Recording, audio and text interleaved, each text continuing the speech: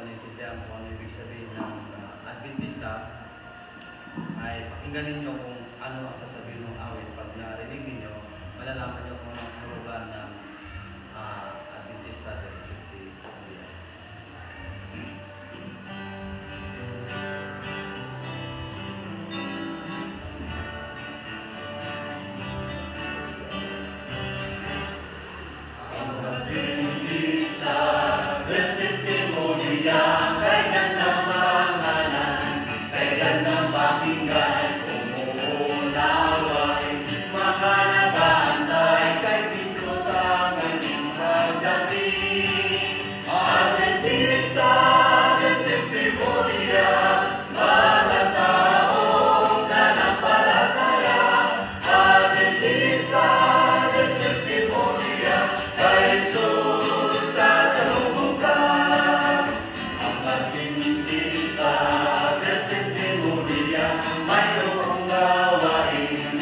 Mahalaga